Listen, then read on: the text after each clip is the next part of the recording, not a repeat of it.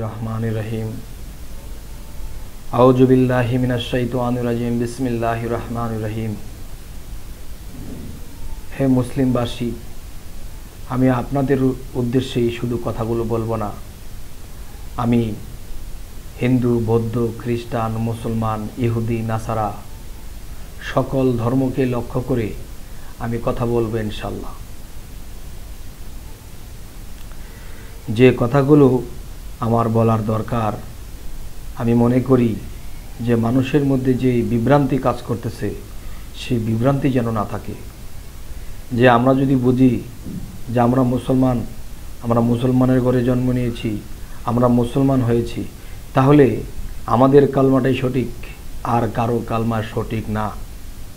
এই কথা যদি কেউ ভাবে, তাহলে তিনি আসলে মুসলমান হইতে জানেন নাই এবং তিনি আসলে প্রকৃত জ্ঞানীয় নন। সেই কথাটি হলো, যদি আমাদের কলেমাটাকে আমরাকে আমরা সঠিক মনে করি, তাহলে আমাদের অজ্ঞানতা হবে। যেমন, আমাদের ধর্মের নাম ইসলাম ধর্ম বা মুসলমান ধর্ম। তাহলে মুসলমান ধর্মের মধ্যে আমরা কি বলতেছি?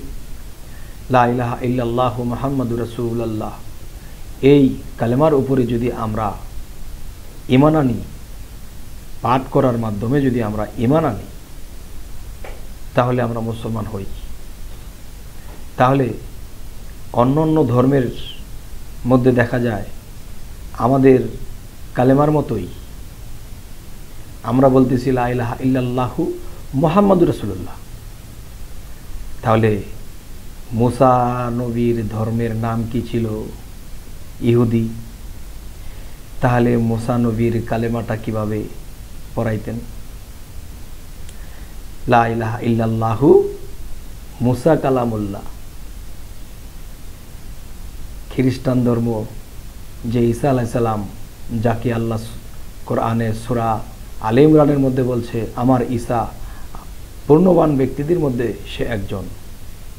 তাহলে আল্লাহ যদি ঈসা নবীকে এরকম একটা সম্মান দিয়ে থাকেন, তার যেই ধর্ম পালন করে গেছেন, সেই ধর্মটার নাম হলো খ্রিস্টান ধর্ম। কিন্তু তার কালেমাটা লাইলাহা ইল্লাল্লাহু ঈসা রুহুল্লাহ, আমরা না বুঝে এমন কথা বলব না। এবার আসি যে লাইলাহা ইল্লাল্লাহ,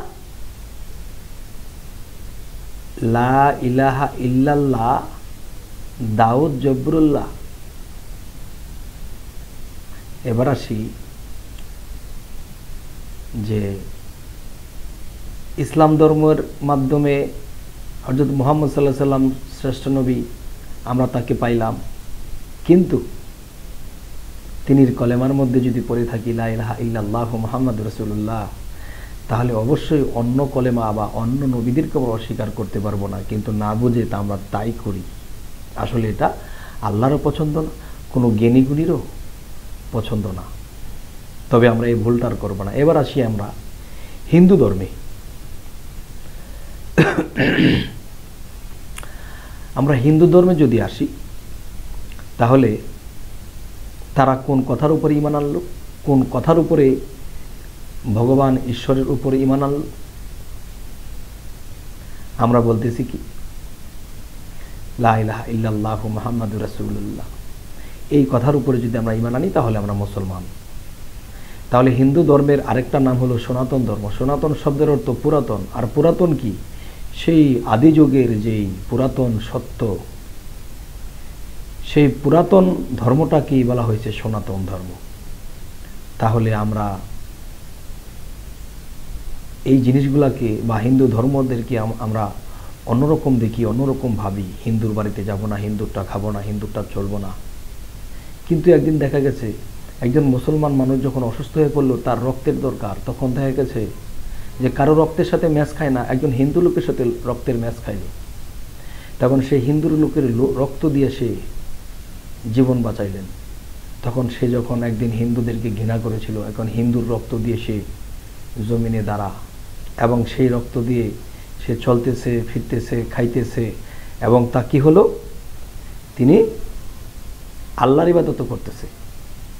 তাহলে আমরা যেই ভুল কাজগুলো করি না বুঝে। তবে এমন ভুল আমাদের আর করা যাবে না। তবে আরেকটা বিষয় হলো, আমি যা বলব, সেটি হলো যে হিন্দু ধর্মের কালেমাটা কি? হিন্দু ধর্মে কোন কালেমাটা পাঠ করে তারা হিন্দু হইল বা সনাতন ধর্মে দাবিত হইল, সেটি হইল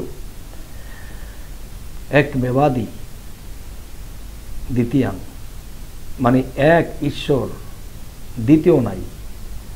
যেমন আরও বলা হচ্ছে যে এক ঈশ্বর দ্বিতীয় নাস্তি, এক মেবাদি দ্বিতীয়াং ওং বিষ্ণু নারায়ণাং, অর্থাৎ এক ঈশ্বর ছাড়া দ্বিতীয় কোনো ঈশ্বর নাই, ঈশ্বরের স্বরূপ ঈশ্বর ভগবান শ্রীকৃষ্ণ। তাহলে এক ঈশ্বর দ্বিতীয় নাস্তি মানে এক ঈশ্বর ব্যতীত দ্বিতীয় কোনো ঈশ্বর নাই। এরপরে বলা হচ্ছে কি, এক ঈশ্বর দ্বিতীয় নাস্তি, এক মেবাদি, এক ঈশ্বর দ্বিতীয় নাস্তি, এক মেবাদি দ্বিতীয়াং ওং বিষ্ণু নারায়ণাং, অর্থাৎ এক ঈশ্বর ছাড়া দ্বিতীয় কোনো ঈশ্বর নাই, ঈশ্বরের স্বরূপ ঈশ্বর ভগবান শ্রীকৃষ্ণ। তাহলে আমরা কেন একই তো? আমরা বলতেছি লাইলাহ ইল্লাল্লাহ মোহাম্মদ রসুল্লাহ এক ঈশ্বর, এক আল্লাহ ছাড়া দ্বিতীয় কোনো ঈশ্বর নাই। লাইলাহ ইল্লাহ মোহাম্মদ রথুল্লাহ এক আল্লাহ ব্যতীত কোনো মাবুদ নাই। এখন, এবং বলা হচ্ছে যে হজরত মোহাম্মদ সাল্লাহু আলাইসালাম আল্লাহর প্রেরিত রাসুল। আরেকটি কথা হলো যে হিন্দু ধর্মের মধ্যে যে বলা হচ্ছে যে কথার উপরে তারা ইমান আনে যে এক ঈশ্বর দ্বিতীয় নাস্তি, এক মেবাদি, দ্বিতীয়াং অং বিষ্ণু নারায়ণাং। অর্থাৎ এক ঈশ্বর ছাড়া দ্বিতীয় কোনো ঈশ্বর নাই, ঈশ্বরের স্বরূপ ঈশ্বর ভগবান শ্রীকৃষ্ণ। তাহলে আমরা তো তাই বলি, নাই কোনো মাবুদ আল্লাহ ছাড়া হজরত মোহাম্মদ সাল্লাহু আল্লাহ সাল্লাম আল্লাহর প্রেরিত রাসুল।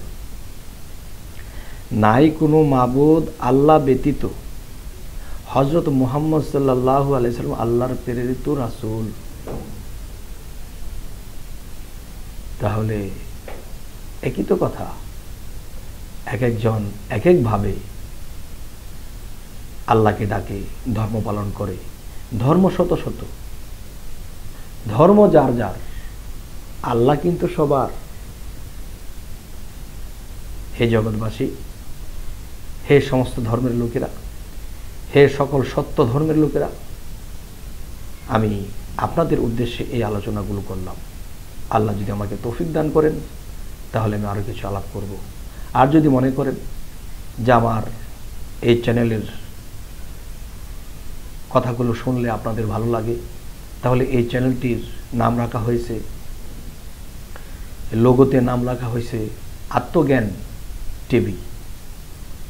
তাহলে আপনারা সাবস্ক্রাইব করবেন এবং সাবস্ক্রাইবের মাধ্যমে আমাদের বাকি ভিডিওগুলো আপনারা পেয়ে যাবেন এবং সামনে যা আসবে তাও পেয়ে যাবেন ইনশাল্লাহ আজ এই বলেই রাখলাম। সকলেই ভালো থাকবেন। আল্লাহ হাফেজ।